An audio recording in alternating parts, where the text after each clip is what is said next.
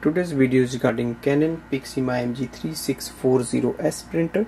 I'm going to show you how to reset your printer to factory defaults. Now first step is to switch on the printer and go on the control panel. Here we have to press and hold the stop button until the 21 times the warning. Now here we have to press and hold the stop button and we have to do it until we count 21 flashes on the warning light so press and hold